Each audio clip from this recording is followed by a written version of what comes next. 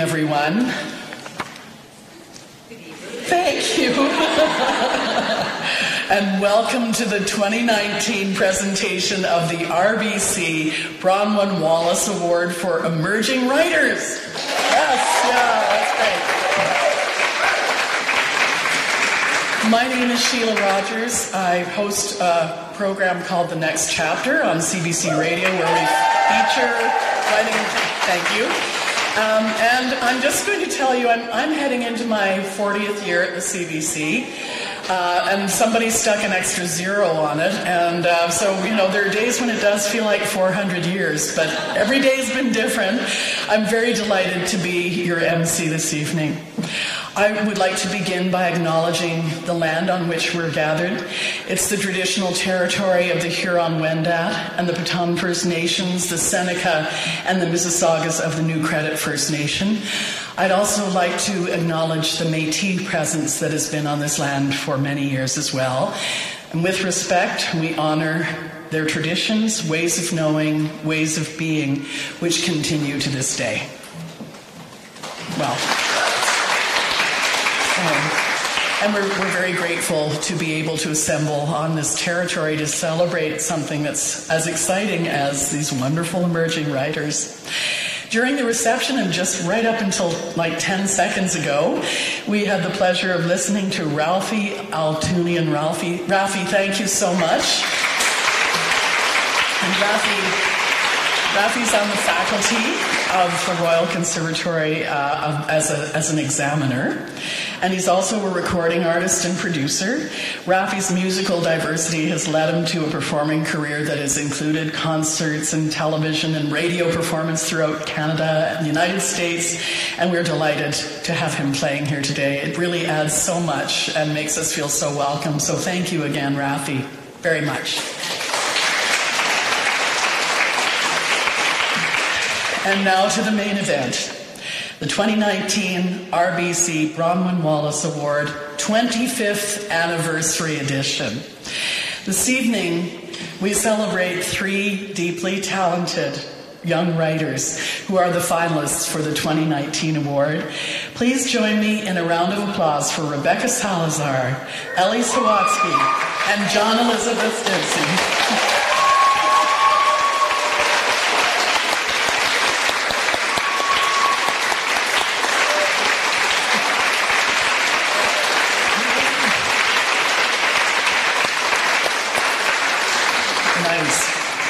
All three finalists deserve recognition and readers.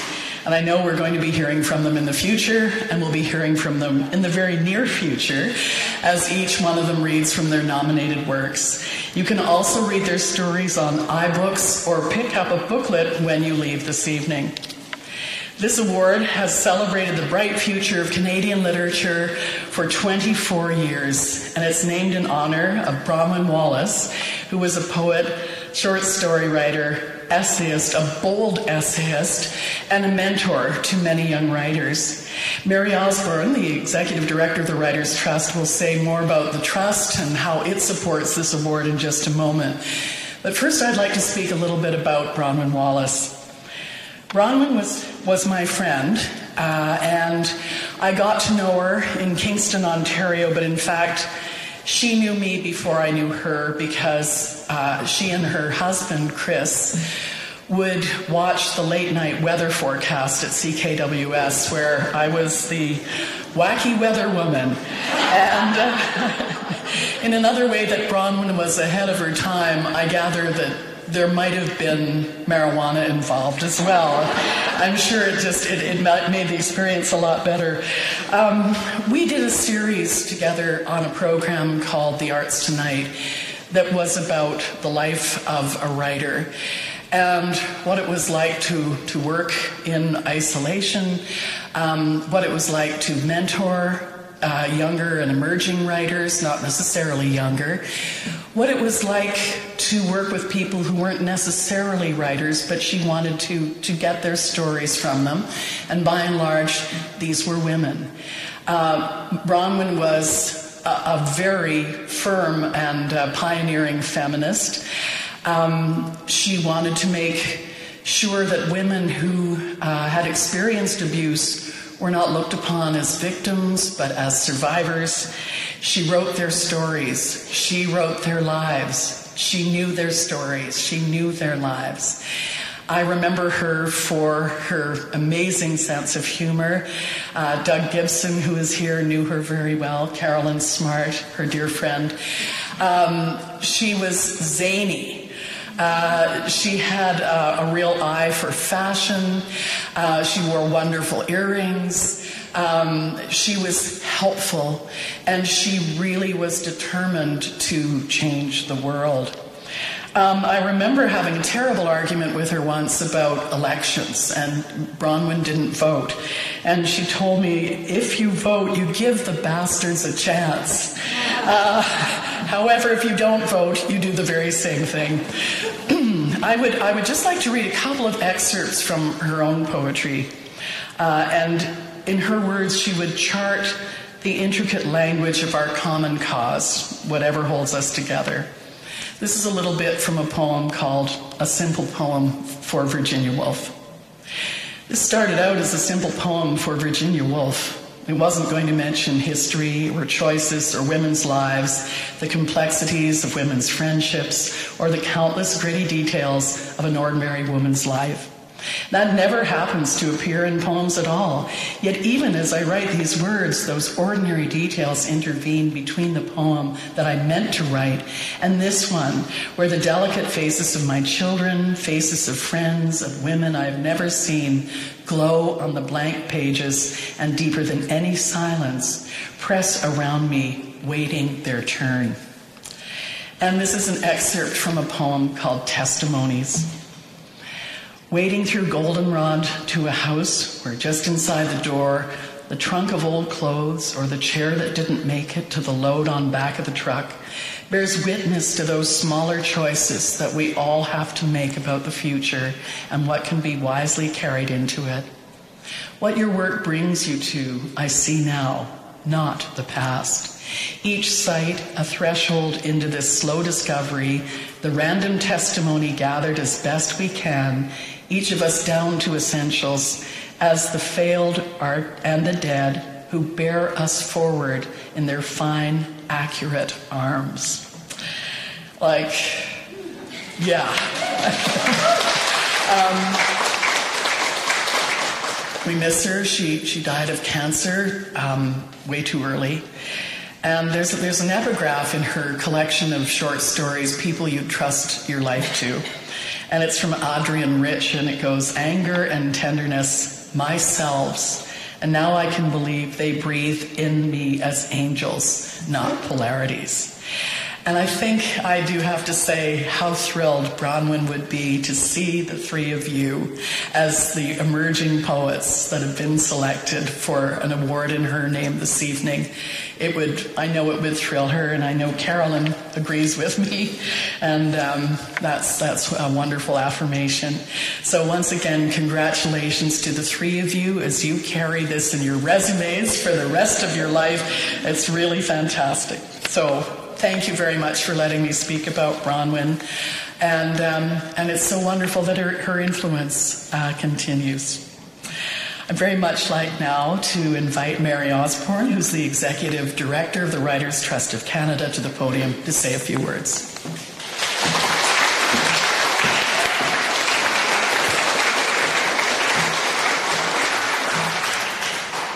Thank you very much, Shelagh, and welcome everybody. We're really happy to have all of you gathered here to celebrate the uh, RBC Bronwen Wallace Award for Emerging Writers.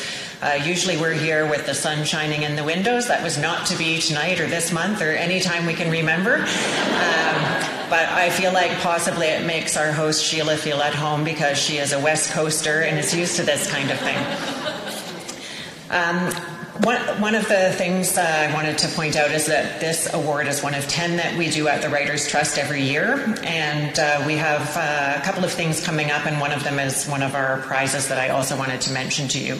Uh, we're going to be in Halifax this weekend. The Writers Union is doing their conference there, and uh, the Writers Trust is uh, joining that conference to put on the Margaret Laurence Lecture that we do every year, where we invite a top Canadian writer to talk on the theme of a writer's life. And Olive Senior will be presenting that lecture Friday night in Halifax, and we will also be live streaming it for anyone who would like to tune in. And on Saturday, we'll be, we'll be presenting another literary award, the Dayne Ogilvie Prize for Emerging LGBTQ Writers. And um, again, if anybody is in Halifax for the uh, Unions Conference or for any other reason, you're welcome to join us. And otherwise, you can go to our Facebook page and uh, watch the live stream. Uh, the finalists, by the way, for the Dayne Ogilvie Prize are Joelle Barron, Lindsay Nixon, and Casey Plett, who got some wonderful news at another event hosted by Shelagh last week.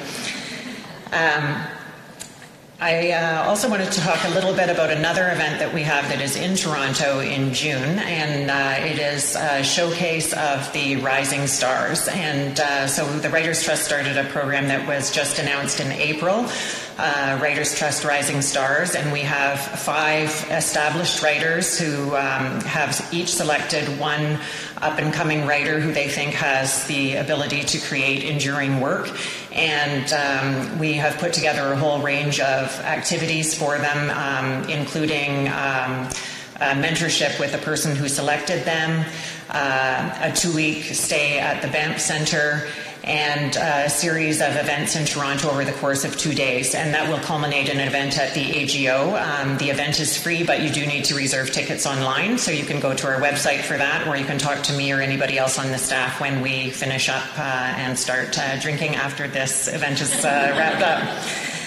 Um, I wanted to take a moment to thank uh, some of the people who make this event possible. There are just so many people who go into it, um, who put effort into it. Um, so, to start with, I want to thank, thank the RBC Foundation. Uh, Amy, thank you very much. Um, I've said it before, but RBC has been such a great sponsor of this prize and has really taken it to places that we would never have been able to done, do without their support.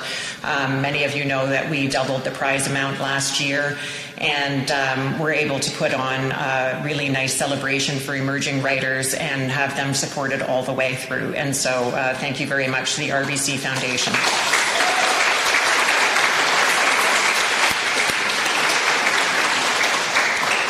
Uh, I'd also like to thank Carolyn Smart, who's sitting in the front row beside Shelagh. Uh, Carolyn's uh, established this prize in honor of her friend, as uh, Shelagh noted, and uh, Carolyn and I had some of the same conversations about the same kind of things that uh, Shelagh was just sharing about how this would have just meant so much to Bronwen to see what this prize has become, to see the group of writers this year, but also over the 25 years, the number of writers who have been impacted by this program, all of the work they've gone on to do that has been so meaningful, and more recently, um, adding a mentorship component to, her, to it, which was something that, um, as Shelagh pointed out, is something that was really important to Bronwen. Um, so I would like to thank the um, mentors who are, uh, have met with or are meeting with our um, finalists uh, who are Canisia Lubrin, Nimash, and Lee Nash, and Carmine Starnino. Uh, I'd also like to thank the jurors who put so much time and effort into careful reading and deliberation of the work of uh, well over 100 uh, submissions and um, came up with the three finalists. Uh, they are Jordan Abel, Sue Goyette, and Emma Healey. So a round of applause for the jurors.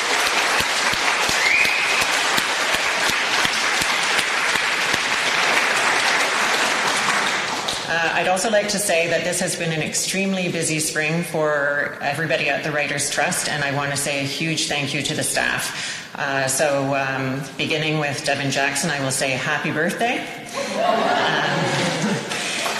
and uh, I would also uh, like to say a big welcome to Julia Yu, who is the most recent addition to our staff and who worked on putting this event together. Uh, but it's really an entire team event. So, uh, James Davies, our program director, uh, Katrina Afonso, our digital manager, Kayla Calder, uh, our development manager. And then we have one staff member um, who really thinks of this event as her baby, and that is Amanda Hopkins, who, oh, I just spotted her. Um, So um, Amanda is on maternity leave and dealing with her own actual baby, but I'm glad to see her here still uh, watching over this event. Uh, so I would like to thank all of you so much for joining us. I would like to say another huge congratulations to the finalists. Uh, we're really excited for all of you and wish you all good things in the future. And uh, I hope uh, all of you enjoy the readings and the rest of the evening. Thank you.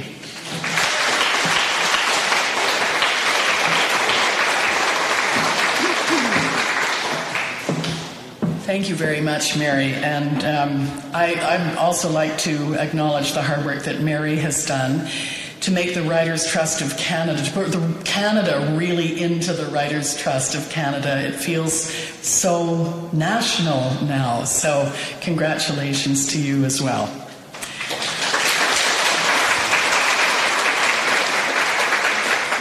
Yeah, it's time. it's time to turn the stage over to you. In alphabetical order, I'm going to invite each finalist to read from their nominated work.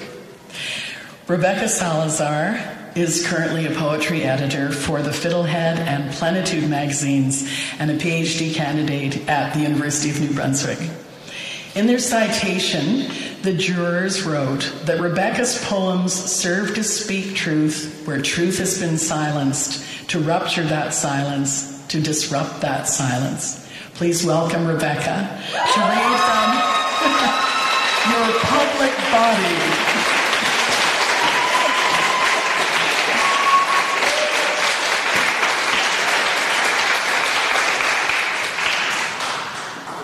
Hi. Uh, thank you to Shelagh and to everyone for having us here, um, to Carolyn for the first phone call also, um, which happened about a month before we knew about anything else. Um, so it's been a few months building in anticipation for this. Uh, I'm going to read the first poem from my uh, selection, and I'm going to ask you to bear with me because I'm doing something experimental with a bell. It's a bike bell, um, and I've never tried this one before. um, I begin this poem with a, uh, an epigraph from the Canadian Civil Liberties Association that reads as follows.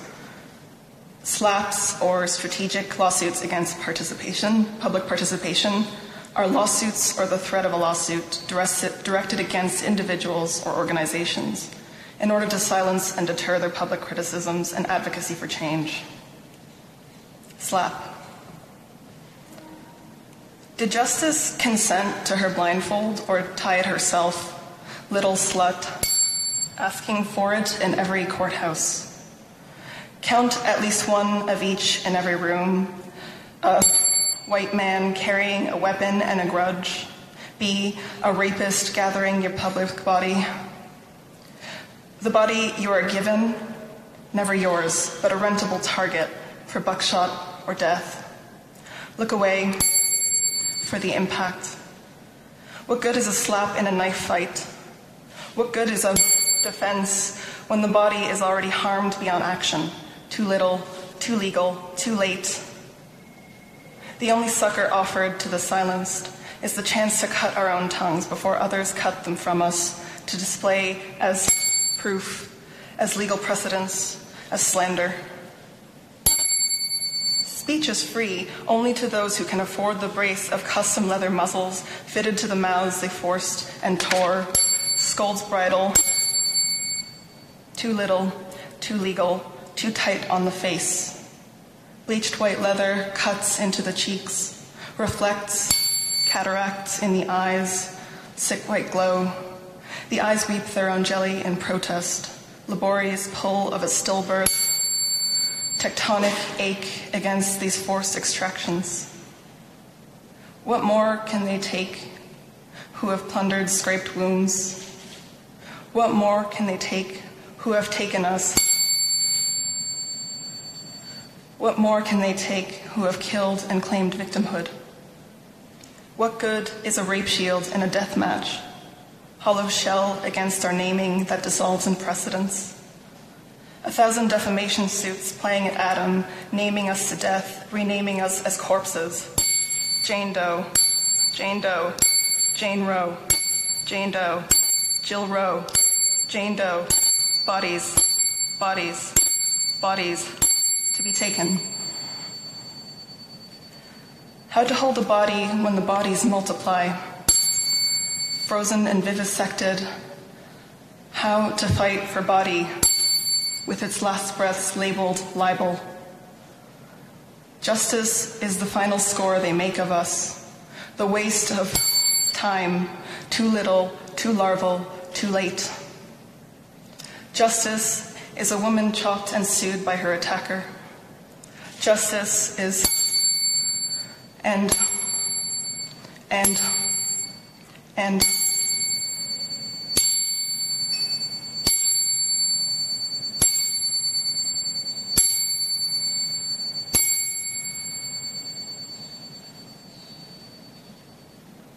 Thank you.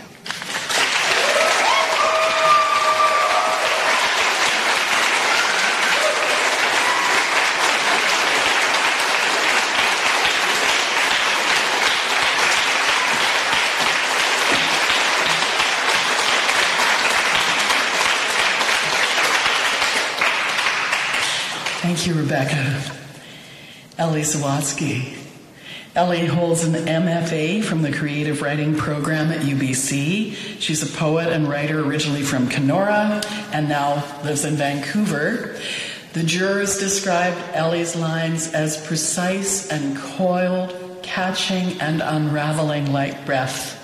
Please welcome Ellie to read from Unorganized Territory.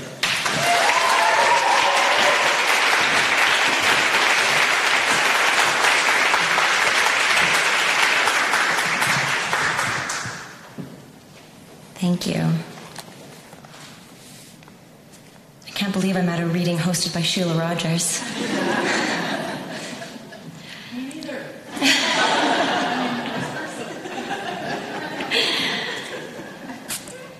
Um, I want to say, first of all, how grateful I am to be here. This is such a great honor. Um, it's been so wonderful to have met and connected with Rebecca and John, and the fact that we all share a connection to the landscapes of northwestern Ontario, northern Ontario, um, is just so mysterious and magical. Um, I can't get over it. Thank you to the Writers Trust and to Carolyn Smart, who called me with the good news while I was in Greece two months ago. And things were pretty good because I was in Greece, but, but it just made it that much better, that much more, more special. Um, I'm so grateful to the jurors as well, all of whom are poets that I respect and admire and whose work has influenced my own. Um, and of course, a huge thank you to Bronwen Wallace herself, who I'm sure is here in spirit. Um, I'm going to read a couple of poems from my shortlisted manuscript, which is a collection of seven poems called Unorganized Territory. And these seven poems are a part of my full length um, debut collection of poems that I've been working on, which is called None of This Belongs to Me, and which I'm planning to have finished writing by the end of June, because it's good to have self imposed deadlines. Um, all the poems in this collection, in Unorganized Territory, were written pretty recently. Um, and they're a product of the age that we live in with social media and dating apps and Google, and also my anxiety and apprehension surrounding the bizarreness and of these everyday, seemingly banal experiences and how they affect us psychologically and how they affect our relationships to other humans and to nature. Um, but on a positive note, it's currently my favorite time of year, which is Gemini season. So, the first poem I'm going to read is called New Moon Gemini Season.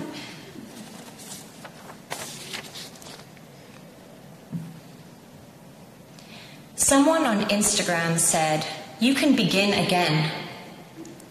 Across the city, the man I used to love is happy, likely, waxing metaphysical to his cats about the Illuminati. I'm feverish in bed, the internet feeding me little wisdoms. I don't believe in romance, a friend says in a text. And I protest. But these days, an ASM artist on YouTube pets me to sleep. The little boy I nanny says he sees ghosts. I guess I believe in unfinished business. Like when the big one shakes us, I imagine I'll be high on cough syrup, rolling bad 90s movies in my mind and wishing I could call my mother, but lately I just asked Google. At least I know I'm not the first person to have wondered anything. Wiki, how can I begin again if I'm still haunted? How do I make peace with my ex who believed the flat earth theory? Fell asleep each night listening to lectures by a man known as Mr. Astrotheology. I hated that NASA loomed monstrous outside our house, that even love might have been a conspiracy. We circled each other for so many years. I saw my Saturn returning, and a so called invisible anti moon finally shadowed him from me. I'm wide awake now, even in sleep. I'm busy building catastrophes. Last night's nightmare, a gym floor littered with thumbtacks, many barefoot children. But hope this evening is a post Tinder codeine dream where I see two of me make love to each other while the earth quakes. I believe this is the beginning of something. Um, the next poem that I'm going to read is called Kenora Unorganized, and it's the source of the collection's title. I wrote it this past winter while I was staying with my parents in my hometown, Kenora, Ontario. And unorganized territory is any geographic region that doesn't make up part of a municipality. So when I'm in my childhood home, the Tinder app tells me that I'm in Null, Ontario. and the weather app, my weather app on my phone tells me that I'm in Kenora unorganized. So a few people pointed out to me how poetic that is, that that's where I'm from. So this poem is about where I come from. Kenora unorganized. The pipes freeze, car won't start. Dad splits wood and mom KonMari's the closets to make space for me. I borrow Sorel's shovel hopeless trenches through the unorganized territory of my childhood. This minus 50 has some mercy, says CBC, meaning death, for larvae of the emerald ash borer, a pretty but evil invasive beetle that kills trees. Blessed is the junco at the feeder who's not supposed to be here this time of year. Blessed also the unlikely swallowtail butterfly found alive in a local man's garage. I've come here to collect stories from my ancestry, but I keep procrastinating. Watch my mind chase a jackrabbit across the frozen lake, which is a kind of cemetery. In Null, Ontario, you can hear the snap as tinder breaks. Radio waves roll into an empty sky. There's no one around you. Evening, I rewatch Matilda with my parents, remembering a man I once loved who wept passionately when we watched it together. He so believed in telekinesis. Natural history, strange and miraculous, thistle seeds stirring under snow. Loneliness is its own magic, the way the earth makes room. Mom switches off lights so we can see the wolf moon turn red behind a quiet grove of ash trees. Thank you.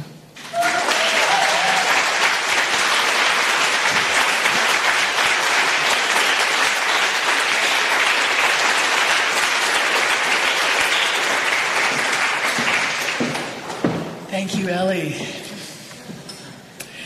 John Elizabeth Stintzi is a non binary writer and visual artist who, again, this Northern Ontario theme was raised on a cattle farm in northwestern Ontario. The jurors said John's work is brave, brave and timely. Please welcome John to read from selections from June Bat.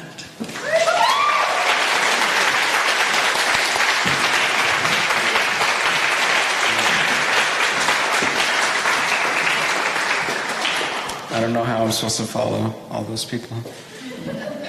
Um, so this is a poem that's from my manuscript in progress, which is called June Bat, and just for a little bit of context, if you haven't read the poems, a June Bat is something that I invented, so don't think that you should have known what that is, but it's basically a, an invention of that most crudely can be used to represent a sort of a non-binary identity.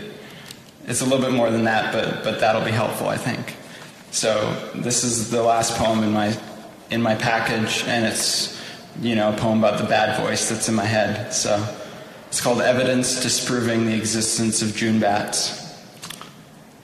Firstly, and frankly, conclusively, neither the chronologist nor the chiropterologist has heard of a June bat. Therefore, there is no June bat to even be. Furthermore, that your mother and your father call you son, that your brothers call you brother, that people on the street call you sir, because you are nearly alone in thinking anything different. That you have written a whole novel from the voice of a character who could be called a June bat.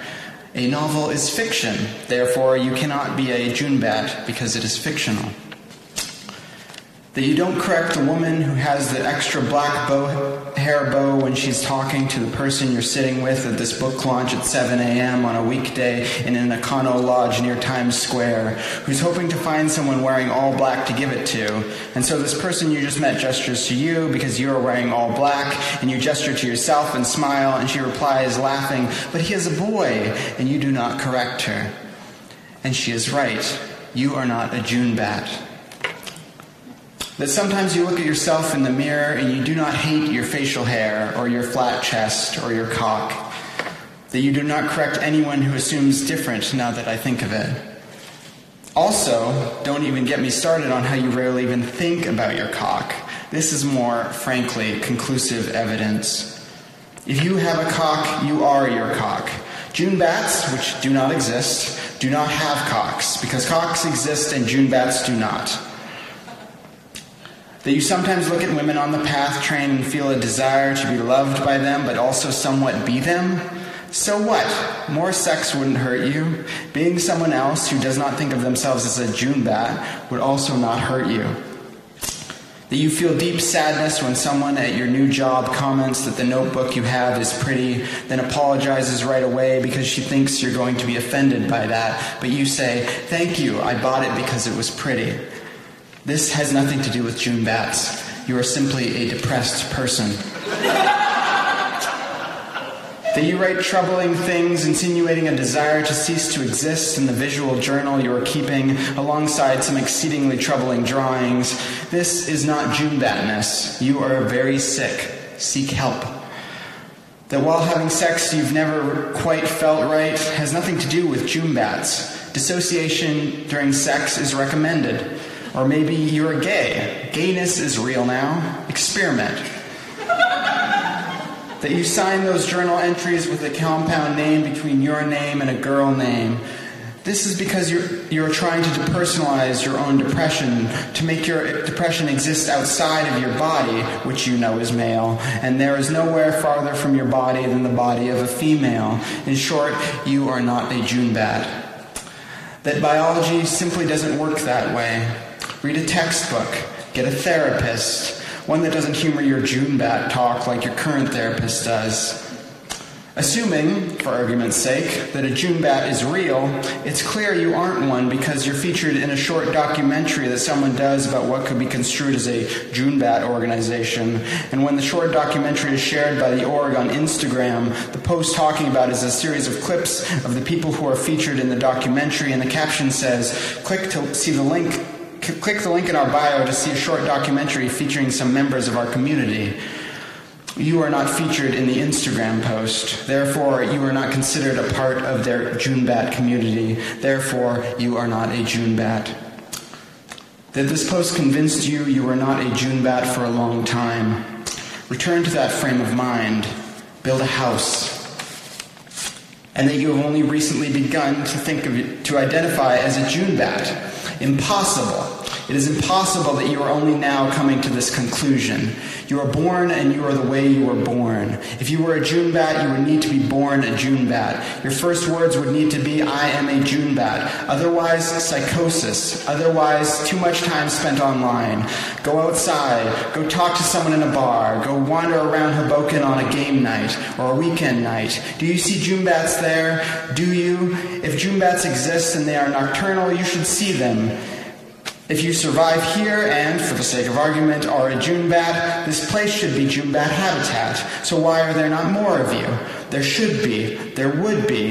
It doesn't matter that you loosely called yourself a June bat years before. It is a fad. I get it. We were all emo kids once, or goth, or cool.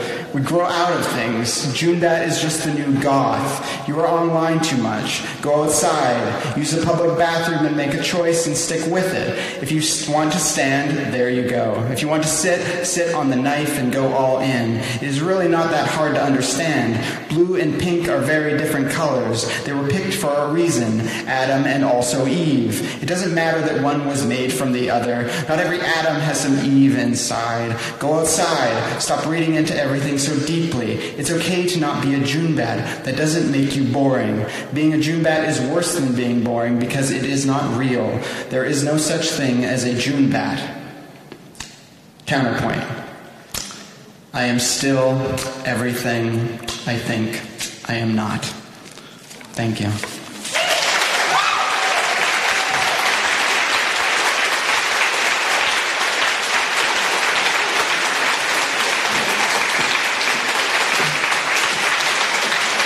Thank you, Hannah. Do we have another round for all three of our finalists?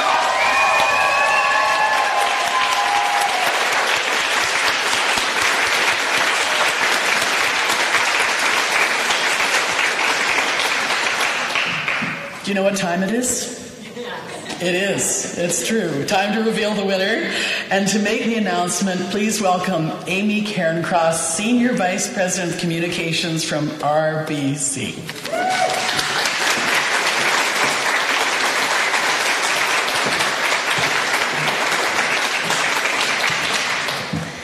Thank you for that kind introduction, Shelagh. On behalf of RBC, it is my privilege to be here this evening to recognize and celebrate the authors named in this year's finalists for the RBC Bronwen Wallace Award for Emerging Writers. This award shines a spotlight on some of Canada's most talented developing writers and has a track record for discovering and promoting the brightest young writers in our country.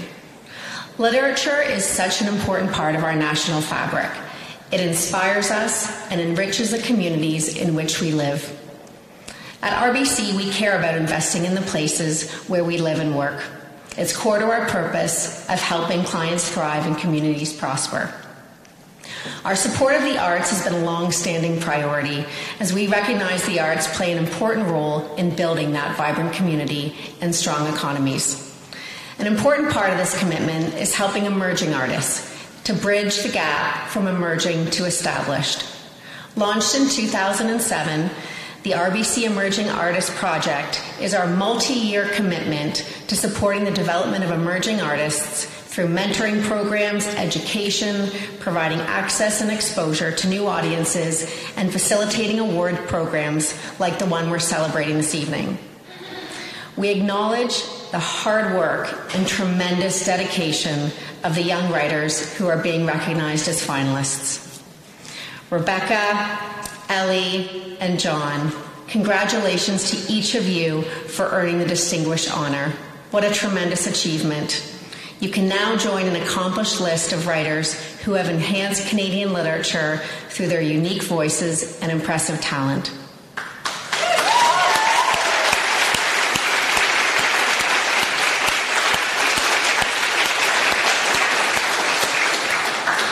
And on behalf of all of us in the room tonight, I wish you each continued success in your literary careers.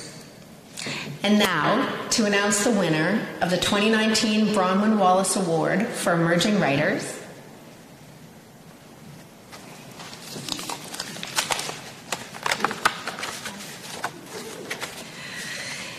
Congratulations to John Elizabeth Stintzi.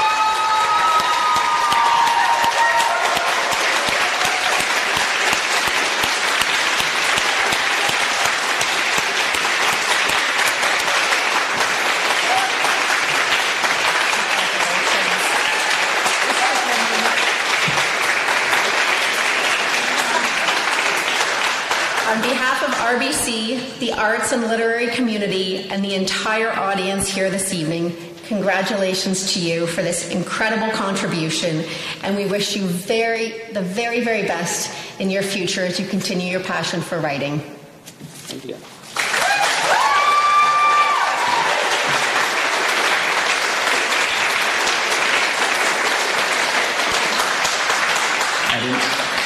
I never expected I'd be back up on this stage so soon. Um, I don't really have much of a. I have some like notes because I was like, you know, you know, just in case, you know, just you never know. Uh, but I want to start by, you know, thanking Rebecca and Ellie for sharing the space with me. It's been a, a really wonderful time.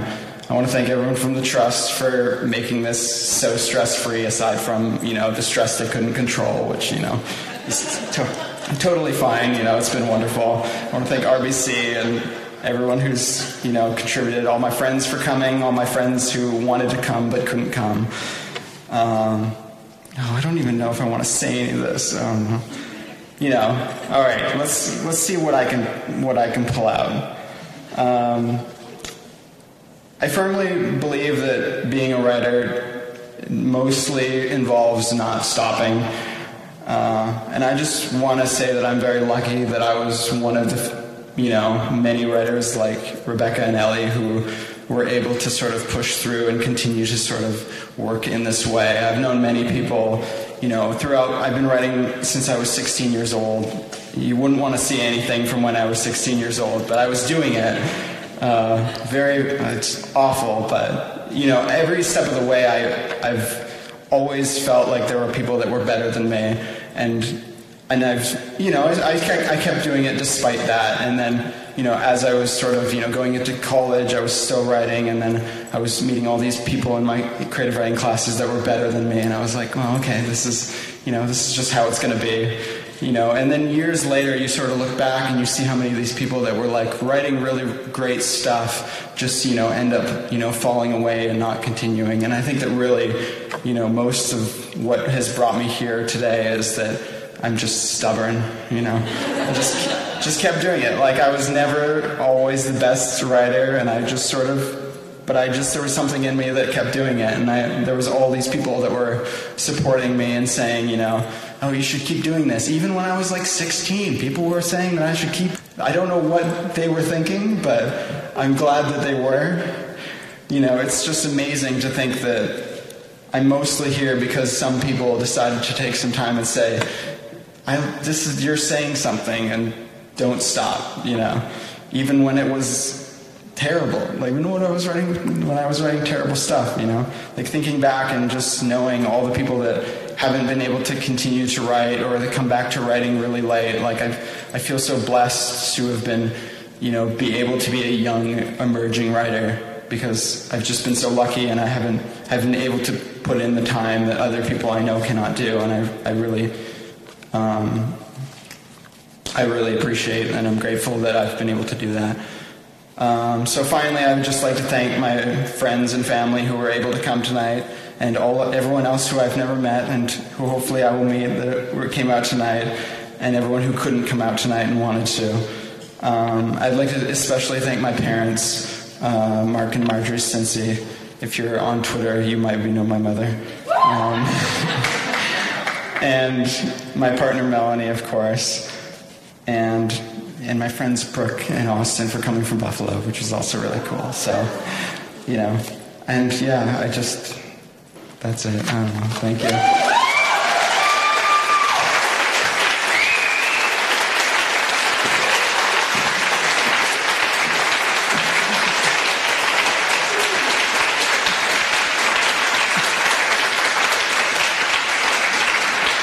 Congratulations to our winner, to the nominees. Um, I know Carolyn's very moved by all three of you, and uh, this is a really exciting event and a wonderful evening. Congratulations to the three of you.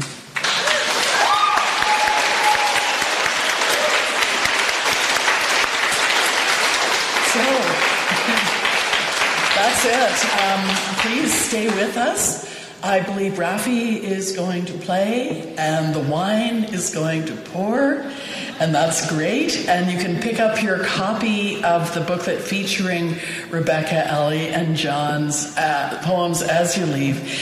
Thank you so, so very much for coming out and celebrating the 25th anniversary of the RBC Bronwen Wallace Prize for Emerging Writers. Thanks